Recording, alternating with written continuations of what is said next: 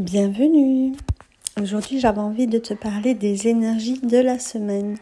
Je vais essayer dans les semaines à venir euh, de te faire chaque semaine un petit euh, résumé, une petite guidance sur les énergies de la semaine. Euh, aujourd'hui, on est le 30 mai, c'est une nouvelle lune qui se prépare. Donc une nouvelle lune, c'est toujours un moment de flottement, un moment où on est plongé dans le noir et un moment où on va pouvoir euh, entamer un nouveau cycle, un nouveau départ, un renouveau.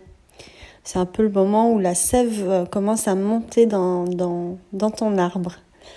Euh, donc cette nouvelle lune, c'est toujours une opportunité de faire le point sur ce qu'on veut mettre en place, mettre en action, initier.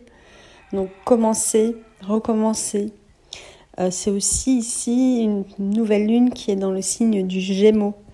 Donc euh, le Gémeaux, c'est une énergie euh, plutôt duel. C'est aussi un signe d'air, qui nous apporte beaucoup de légèreté. le Gémeaux, c'est le signe associé à la planète de Mercure, et en plus, on est en Mercure rétrograde. Euh, et donc euh, ça intensifie ces énergies certainement et en même temps ça peut peut-être les, les, ralentir ou en tout cas donner une impression de, de stagnation, de ralentissement. Euh, c'est surtout en tout cas une opportunité de réunir un petit peu toutes nos parts en nous, ces dualités internes et de les équilibrer. Le Gémeaux, c'est comme la balance et comme le poisson des signes miroirs ou des signes doubles qui nous invite euh, à trouver un certain équilibre. Ici, c'est surtout trouver un équilibre euh, peut-être euh, dans notre communication, dans, notre, dans nos projets aussi, dans notre expansion personnelle, dans nos centres d'intérêt. C'est aussi peut-être trouver un équilibre entre, entre l'action et l'inaction. Euh, c'est un signe qui va nous amener euh, bah, beaucoup de légèreté, évidemment. C'est un signe assez euh, léger, festif, joyeux, mais qui peut avoir aussi deux, deux énergies très différentes, très opposées. Et ici, on va nous demander de trouver une certaine forme d'équilibre intérieur pour qu'il se manifeste à l'extérieur, hein, comme toujours, euh, dans la matière et peut-être trouver un équilibre entre euh, euh, prendre plaisir et en même temps travailler à nos projets, vous voyez Ça peut être cette énergie-là. trouver aussi un équilibre dans nos façons de communiquer. trouver un équilibre dans notre haute discipline aussi, dans nos tâches quotidiennes, euh, remettre un petit peu de plaisir dans tout ce qui est euh, moins plaisant. C'est vraiment une invitation euh, à retrouver un équilibre intérieur en fait. Je trouve ça assez fou ces énergies qui viennent un petit peu nous bousculer et peut-être nous faire émerger certaines peurs, certains doutes. Et donc, euh, c'est aussi ça, cette semaine, qui nous est euh, demandé, euh, c'est cette notion de, de peur, de doute, qui ne doit pas vous, vous freiner, mais simplement vous alerter peut-être sur quelque chose qu'il y aura à regarder, peut-être quelque chose qu'il y aurait à exprimer peut-être euh, aussi euh, faire le ménage dans votre euh, façon de penser. Parce qu'on le sait, la, planète de Mercure, c'est vraiment la planète du mental. Donc, c'est trouver un certain équilibre entre la réflexion et l'action finalement.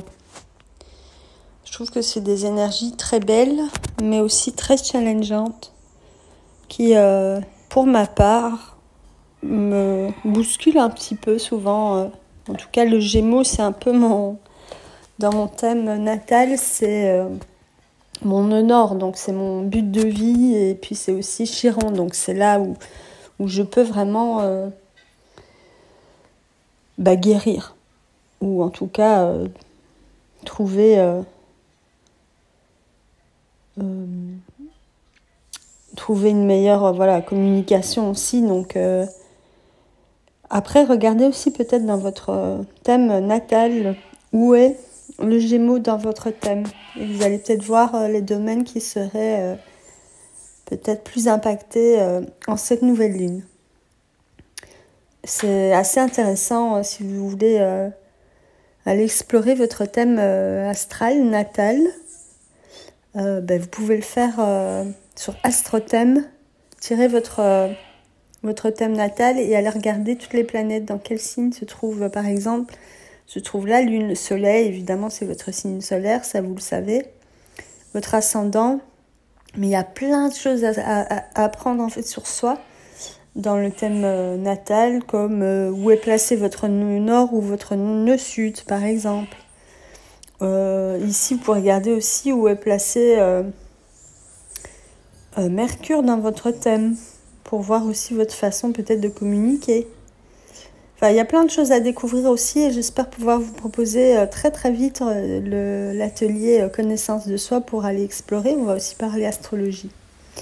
Mais revenons à nos moutons. Cette semaine, l'énergie est peut-être un petit peu timide, en tout cas on a un peu d'appréhension, de doute, de peur. On est un peu replié sur soi. Donc le Gémeaux, il va nous inviter à s'ouvrir aussi à l'extérieur, à sortir de soi-même, donc peut-être à sortir de sa zone de confort d'une certaine manière. Euh, je sais qu'on est au printemps depuis quelque temps, mais moi j'avais euh, ce sentiment aussi d'être encore un petit peu en hibernation, dans mon cocon, d'avoir besoin de, de prendre le temps, de me sentir vraiment en, paix et en sécurité dans mon cocon. Et puis euh, Là, je sens que les énergies m'invitent plus à aller vers l'extérieur. C'est le moment. Euh, je ne sais pas vous, mais euh, en tout cas, euh, c'est ce que moi j'ai ressenti. Et bien sûr, écoutez toujours votre ressenti ici. Tout ce que je vous partage, comme d'habitude, ce n'est jamais une vérité absolue. C'est un peu les énergies globales, donc c'est très général. je me suis accompagnée aussi de l'oracle de Gaïa pour vous parler des énergies de la semaine. Et donc oui, on parle de beaucoup d'appréhension, de peur et de doute. Mais ces doutes, ces appréhensions, elles ne sont pas là pour nous freiner, elles sont simplement là pour nous indiquer peut-être euh, qu'il y a quelque chose à regarder, à équilibrer, euh, à travailler, entre guillemets.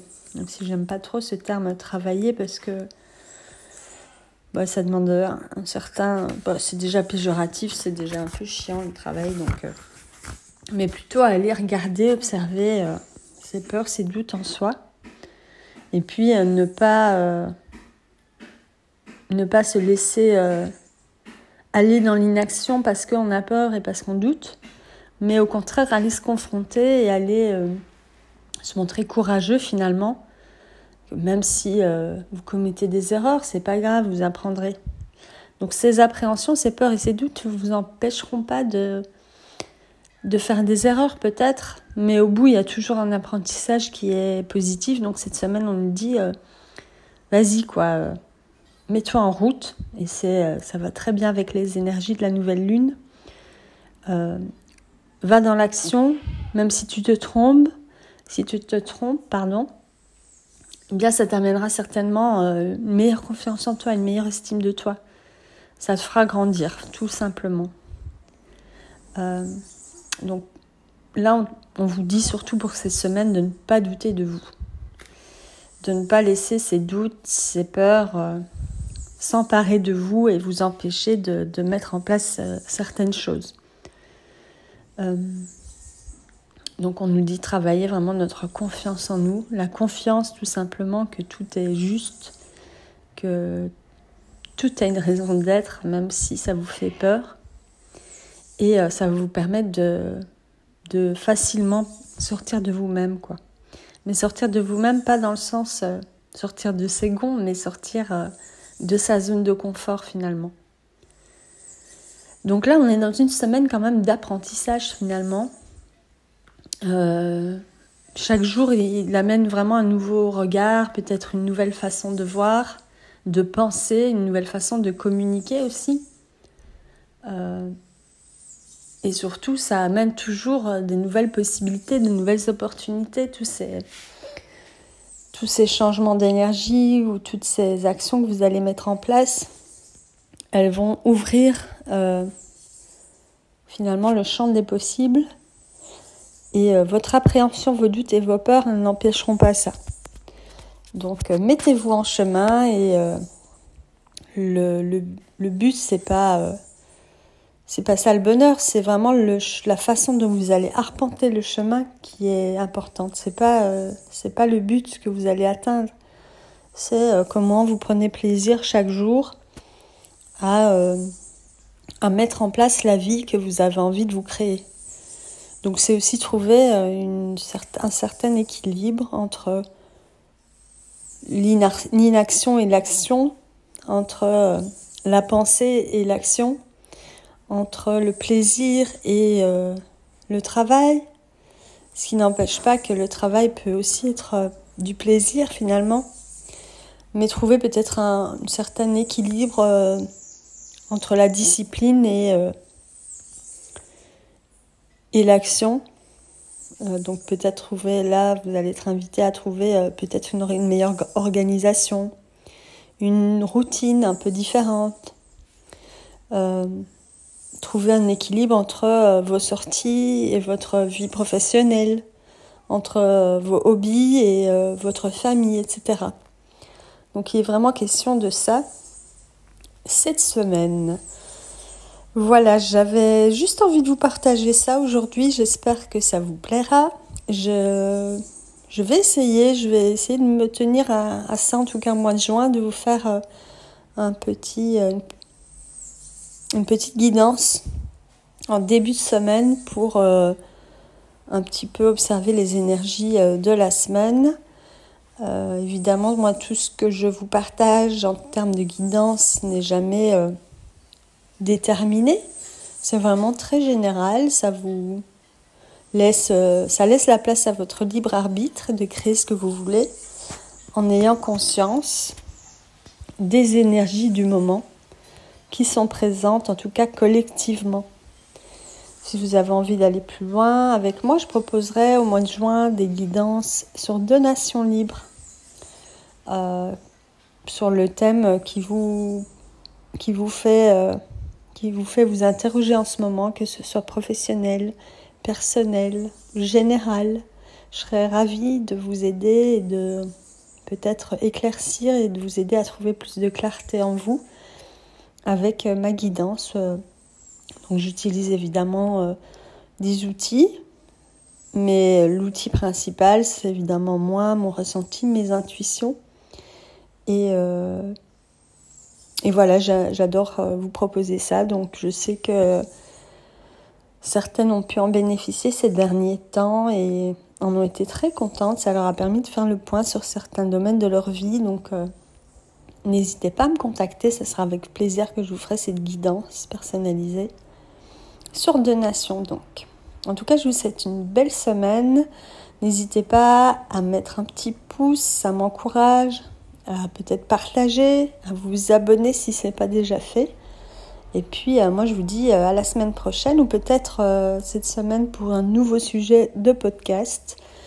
je vais essayer moi aussi de trouver l'équilibre à l'intérieur pour le manifester à l'extérieur et pouvoir vous proposer encore plus de choses, plus de pistes de réflexion, d'exploration. Et bah, je vous dis à tout bientôt. Prenez soin de vous. Ciao, bye bye.